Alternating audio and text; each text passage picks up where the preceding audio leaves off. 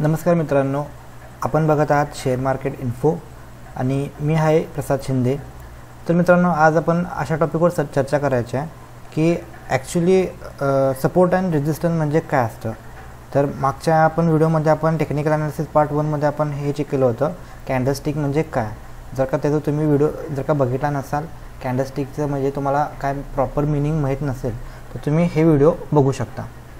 तर मित्रा, चला तर मित्रांनो आपण बघूया. की सपोर्ट अँड रेजिस्टन्स म्हणजे काय असतं? की आता समजा एक्झाम्पल घेऊया की आपण हा एक कुठलं तरी एक एक्स वाय झेड कंपनी आहे आणि ती कुठलीच कंपनी असे, असं स्ट्रेट लाईनमध्ये वर अप अप जात नसते. क, प्रत्येक कंपनी काय होत की कधी तर वर जाते, परत खाली येते कधी कधीच कन्सॉल्डेट करते. वर खाली वर खाली असं प्रोसेस चालू असते. कुठल्याच कंपनीचा शेअर असं रॉकेटसारखा नुसतं एका स्ट्रेट डायरेक्शनमध्ये वरती किंवा एका स्ट्रेट डायरेक्शनमध्ये खालती हा जाऊ शकत नाही. तर ते वर जर का त्याला जायचं असेल, सगळेजण वर जाते कंपनीचं शेअर पण वर जर का जायचं असेल ते वरती वर जाते, नंतर थोड्या दिवसांनी परत खाली येतो, किंवा परत वर जातो. असं वर खाली करतच तो शेअर असं थोड्या दिवसांनी वर तर आपण चेक करूया की नेमका सपोर्ट आणि रेजिस्टन्स म्हणजे काय. समजा हा कुठला तरी एका कंपनीचा एक्स वाय कंपनी आहे, हा कंपनीचा एक शेअर आहे. तर तो शेअर असा वरती गेला. वरती गेल्यानंतर परत एखाद्या पॉईंटनंतर परत तो खाली आला. परत खाली आल्यावरती परत तोच त्या पॉईंटनंतर परत वर गेला. आणि हिथं असं दिसून येतं की समजा आता ही दहा आहे. समजा याची प्राईस दहा रुपये आणि हिथली प्राईस समजा एक पंधरा रुपये. तर तो शेअर दहा रुपयाला वर गेला पंधरा रुपयावरनं तो परत खाली आला. परत त्यानंतर परत दहा रुपयाला टच होऊन परत तो वर गेला. परत पंधरा रुपयाला परत खाली आला. असं ते एक मल्टिपल टाईम कमीत कमी दोन किंवा तीनपेक्षा जास्त वेळा ते तसं झालं. मग ह्याच्यावरनं असं समजू शकतो आपण की तो एखाद्या व्हॅल्यूला आल्यानंतर तिथूनच तो परत वरती वरच्या दिशेने जातो. आणि वरच्या दिशेने गेल्यानंतर एखाद्या व्हॅल्यूला आल्यावरती परत त्या प्राईजला आल्यावरती तो परत तिथून रिव्हर्स होतो आणि तिथून खालच्या दिशेने चाला चालू होतो. तर मग ते तिथं जे यू फॉर्मेशन किंवा व्ही फॉर्मेशन जे तयार होतं तिथून ते त्याचा मोड तो चेंज करतो पाथ चेंज करतो. त्याला आपण एकंदरीत सपोर्ट आणि रेजिस्टन्स आपण बोलू शकतो. तर टॉपचा जो पॉईंट असतो वरचा जिथून तो परत खाली येतो त्याला बोलायचं रेजिस्टन्स तिथून तो खाली येतो आणि खाली आल्यानंतर ना ज्या पॉईंटपासून तो वरती जातो त्याला बोलायचं सपोर्ट म्हणजे तिथे तो तो सपोर्ट घेऊन तो नेक्स्ट डेला वर जाऊ शकतो. तर मित्रांनो ह्याच्यामध्ये बाईंग किंवा सेलिंग जर का करायची असेल तुम्हाला तर तुम्ही कसं करता? तर नॉर्मली मित्रांनो कसं होत असतं की जे लोक जे बाहेर जे असतात ते सपोर्ट पॉईंटला ये आल्यानंतर ना शेअर ज्यावेळी वरती इथं वरती जाऊन ज्यावेळी क्लोज होतो तिथं ते बाय करतात. आणि रेजिस्टन्स ने नेक्स्ट टाईपचा जो रेजिस्टन्स असतो तिथं जाऊन त्याला से शेअरला सेल करतात. आणि जे लोक शॉर्ट करणार असतात तर ते लोक काय करतात तर तिथून रेझिस्टन्सपासून ज्यावेळी शेअर खालच्या दिशेने जात असतो नेक्स्ट डेला तर तो तिथं शॉर्ट करतात आणि सपोर्ट्सपाशी आल्यानंतर त्याला बाय करतात. मग हे थोडक्यात आपण बघितलं की हे सपोर्ट अँड रेजिस्टन्स म्हणजे काय असते हे बेसिक आपण नॉलेज ह्याच्यामध्ये घेतलं. चला तर आता आपण बघूया की नेमकं चार्टवरती हे कसं ओळखायचं? तर त्यासाठी मी येत आहे इन्व्हेस्टिंग डॉट कॉमवरती तर इन्व्हेस्टिंग डॉट कॉम हे तुम्हाला मी पहिला बोललो होतो की टेक्निकल अनालिसिससाठी तीन साईट होत्या. चार्टिंग पण तुम्ही यूज़ करू शकता इन्व्हेस्टिंग मी आता यूज़ करत आहे. आणि ब्रोकरची साईट पण तुम्ही सपोर्ट किंवा टेक्निकल अनालिसिससाठी यूज़ करू शकता. आता ह्याच्यामध्ये आल्यानंतर इथं समजा मी, मला समजा बघायचा रिलायन्स इंडस्ट्रीचा तर मी चेक करतो रिलायन्सचा आता इथं आल्यानंतर इथं टेक्निकल चार्टचा ऑप्शन असतो टेक्निकल चार्टच्या ऑप्शनमध्ये मी क्लिक करतो. आता हा एरियाचा पॅटर्न आहे. मला कॅन्डलस्टिक पाहिजे कॅन्डलस्टिकचा पॅटर्न मी घेतला.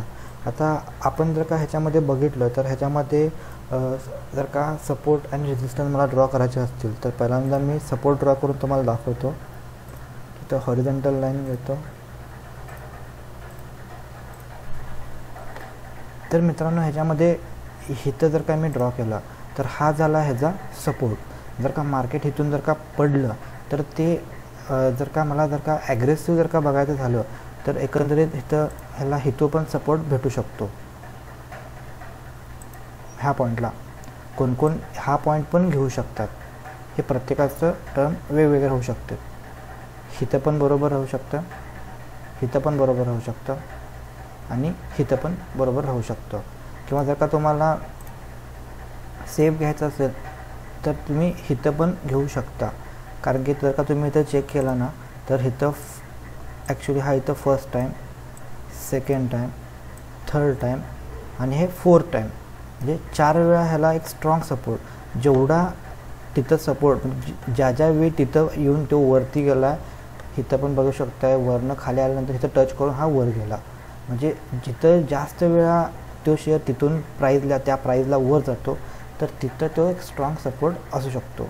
कधी कधी समजा असा ह्याच्यामध्ये जर का तुम्ही बघितला, तर समजा मी जर का समजा मी हिथं ड्रॉ केलं, ह्या पॉईंटला तर हिथं काय होतं आहे की हिथं वन टाईम इथं two time three four five आणि सिक्स आता इथं खाली आलं होतं ते इथं पण हा जो सपोर्ट होता, हा पण एक स्ट्रॉंग सपोर्ट होता. इथं सपोर्ट केल्यानंतर मार्केट नेक्स्ट डेला इथं बघू शकता आपण की इथं वरती क्लोज दिलं आहे तर असं तुम्ही ड्रॉ करू शकता. अजून एक चेक करूया. आता ह्याच्यानंतरनं तुम्ही इथं पण, हा पण सपोर्ट होऊ शकतो. व्ही फॉर्मेशन टाईप बनलेलं असतं, जिथून मार्केट रिव्हर्स झालेलं वरती गेल्यानंतर खाली आल्यावरती त्या पॉईंटला टच होऊन वर जातं. ह्यालाच तुम्ही ॲडव्हान्समध्ये प्राईज ॲक्शन थेरीसुद्धा बोलू शकता. प्राईज ॲक्शन म्हणजे ह्या साईडला प्राईज असते. तर त्या प्राईजप्रमाणे मॅक ॲक्शन होत असते. जर का तुम्ही चेक केला ना, एक गोष्ट ह्याच्यामध्ये असं समजून येते की प्रत्येक वेळी तिथंच आल्यानंतर मार्केट फिरू शकते. तर हे का होऊ शकते? कारण की भरपूर लोक ही टेक्निकल ॲनालिसिस यूज़ करत असतात. त्याच्यामुळे असं प्रत्येकांना समजू शकतं की आता हिथं आल्यानंतर मार्केट मे बी रिटर्न होऊ शकते. जर का मी काढायचं झालो खालती, खालच्या डायरेक्शनला तर हा पण सपोर्ट होऊ शकतो. हा होऊ शकतो किंवा लेट सेट हा पण ह्याच्यामध्ये अजून एक असं समजतं की जो, म्हणजे ज्यावेळी आता लास्ट टाईमला ह्यानं काय केलं होतं की आता रेझिस्टन्स म्हणजे काय की टॉपचा पॉईंट आता ह्याच्यामध्ये जर का मला रेझिस्टन्स ड्रॉ करायचा असेल, तर मी तो रेड लाईननं ड्रॉ करतो. तर रेझिस्टन्सच्या टाईमला आता हा पॉईंट हा त्याचा एक रेझिस्टन्स बनू शकतो. त्यानंतर अजून जर का मला ड्रॉ करायचा झाला, तर मी इथं पण हा हा पॉईंट म्हणजे टॉपचा जो पॉईंट आहे, तिथून मार्केट खालच्या दिशेनं आलं होतं तुम्ही रेझिस्टन्सचा पॉईंट बोलू शकता. तर इथं जर का तुम्ही चेक केला, तर इथं almost first time second time किंवा ह्याच्यामध्ये हा थर्ड टाईम म्हणजे तीन वेळा ह्यानं रेजिस्टन्स ठेवून खाली आला होता. आणि जर का तुम्ही इथं जर का चेक केला तर इथं ज्यावेळी हा ज्यावेळी इथं मार्केट ज्यावेळी प्राईस इथं होतं त्यावेळी हाच शेअर इथंच सपोर्ट घेऊन तो वर गेला होता. म्हणजे ज्या टाईमला शेअर वर जातो आणि तिथून खाली येतो तर तो त्याचा जो प्रिव्हियस जो रेझिस्टन्स असतो तोच त्याचा सपोर्ट बनतो. आणि वाईस वर्सा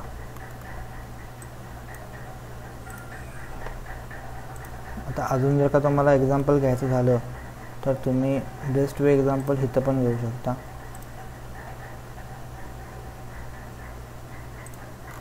हा वाला ह्याला मी सपोर्ट नेहमी ब्ल्यूमध्ये डोनेट डिनोट करतो. आता इथं जर का तुम्ही चेक केला, तर ह्या साईडला वन इथं टू इथं three time almost three two four time ह्यानं ह्या इथं जरा सपोर्ट होता. म्हणजे ज्या ज्या मार्केट टच झालं पड, पडलं, त्या पडल्यानंतर ते एका व्हॅल्यूला येऊन थोडं थांबतं आणि तिथून रिव्हर्स होतं. तिथं एक व्ही शेपचा पॅटर्न बनवतं किंवा व्ही किंवा यू शेप टाईप दिसतं ते आणि तिथून वर जातं. आणि वरती गेल्यानंतर आता इथं जर का आपण बघायचं झालं तर इथंच हाच ह्याचा पॉईंट टॉपचा पॉईंट होता तो रेजिस्टन्सचा पॉईंट होता.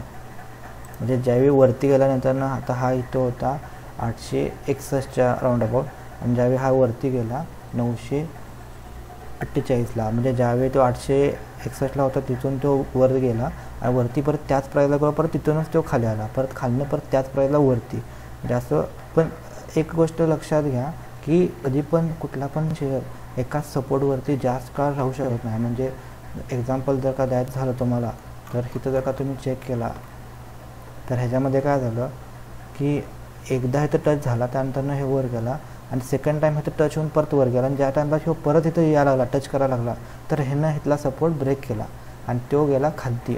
बोलायचं ब्रेक डाऊन जो जो शेअर सपोर्टला ब्रेक करून खालच्या दिशेने जातो, त्याला बोलायचं ब्रेक आणि जो शेअर रेझिस्टन्सला त्याला ब्रेक आऊट करतो आणि वरच्या दिशेने जातो, तर ब्रेक आऊट म्हणजे इथं तुम्ही बघू शकता. इथं रेझिस्टन्स लागला होता, परत खाली खाली आला. खाली आल्यानंतर सपोर्टला टच करून हा ज्या टायमला नेक्स्ट वर गेला, तर त्यावेळी ह्यानं पॉईंट ब्रेकआउट केला हा गेला वरती. हे तुम्ही आता मी जे बघतो हे डेली कॅन्डलस्टिक पॅटर्नवरती बघतो हे तुम्ही फाय मिनिटच्या चार्टवरती पण सेम थिंग यूज़ करायची हावरली किंवा मंथली किंवा डेली पण टाईम फ्रेमला कुठल्या पण शेअरला कुठलं पण तुम्हाला ॲनालिसिस करायचं झालं असेल, तर तुम्ही यूज़ करायची आहे. प्राईज ॲक्शन स्ट्रॅटजी मित्रांनो, ही अशी असते. तर ह्याच्यामध्ये काय कुठलाच शेअर आता समजा मी इथं जर का सपोर्ट केला, हा सपोर्ट होता. ह्या सपोर्टला ज्या टाईमला मार्केट ज्यावेळी फ़र्स्ट टाईम ह्याला टच केला, त्यावेळी तो सपोर्टला ब्रेक नाही केला. तो खाली आला रेजिस्टन्सला ब्रेक नाही केला, खाली आला, तिथून तो वर गेला. वरती गेल्यानंतरनं पुन्हा तो सपोर्टला येऊन टच होऊन परत वर गेला. आणि ज्या टाईमला परत आला, म्हणजे one time second time third time आता ह्याच्यामध्ये एक प्रोबॅबिलिटी पण असू शकते. म्हणजे असं जर राहील, हे कंटिन्युअस राहील, ह्याची गॅरंटी थोडीशी म्हणजे डिनोट करता येते. म्हणजे असं काय ह्याला शुअर नसते की प्रत्येक वेळी तो पॉईंटला टच होऊन वर जाणार असं नसतं. कधी कधी तो तो पॉईंट ब्रेक पण करू शकतो. म्हणजे तुम्ही एक्झाम्पल जर का समजा, आता आपण असं कन्सिडर करूया की ही एक भिंत आहे, हा एक वॉल आहे आणि समजा एक हॅमर आहे. तर हॅमरने वन टाईम जर तुम्ही भिंतीवरती आदळा किंवा कुठल्या पण एक्स वाय झेड एका वस्तूवरती जर का तुम्ही मारला ते कधी कधी ब्रेक नाही होणार. दोनदा मारला तरी ब्रेक नाही पण जर का ते जर का हॅमरिंग जर का तुम्ही तीन चार वेळा केला मे बी ते ब्रेक होऊ शकतं. त्याचप्रमाणे एक असं असते तर कॅन्डलस्टिकमध्ये पॅटर्न टेक्निकल अनालिसिसमध्ये सपोर्ट अँड रेजिस्टरमध्ये तसं होऊ शकतं. प्रत्येक वेळी मार्केट त्याच लेवलला येऊन टच करून वरच जाईल. ह्याची गॅरंटी प्रत्येकाची प्रोबॅबिलिटी असते. ती प्रोबॅबिलिटी ह्याची असेलच असं काही नाही. मग त्यामुळे तुम्ही असं कन्सिडर प्रत्येक वेळी करायचं नसतं की आता हा सपोर्ट इथं आहे म्हटल्यावर नेक्स्ट डेला इथं सपोर्ट घेऊन वर जाईल. प्रत्येकाला एक प्रोबॅबिलिटी असते. निफ्टी पण काय करत आहे? निफ्टीवरती पण भरपूर काय डिपेंड राहतं. आणि ह्याच्यामध्ये अजून सपोर्ट तुम्ही असे पण करू शकता. नुसते हॉरिझेंटल लाईन म्हणजे सपोर्ट असते असं पण काय नसतं. तर ह्याच्यामध्ये इन्क्लाइंड लाईन जी असते, आपण लाईन चेंज करायची. समजा आता ही लाईन आहे. तर ही लाईन पण त्याची सपोर्ट लाईनच होते. ही लाईन जी आता मी तिरकी ड्रॉ केली, ही लाईन पण सपोर्ट लाईनच होते. ती मी आता ग्रीन कलरमध्ये डिनोट करतो आहे ही पण त्याची सपोर्ट लाईनच होते. आणि ही जर का मी लाईन ड्रॉ केली इथून, ही लाईन जर का ड्रॉ केली, आणि जर का समजा मी इथून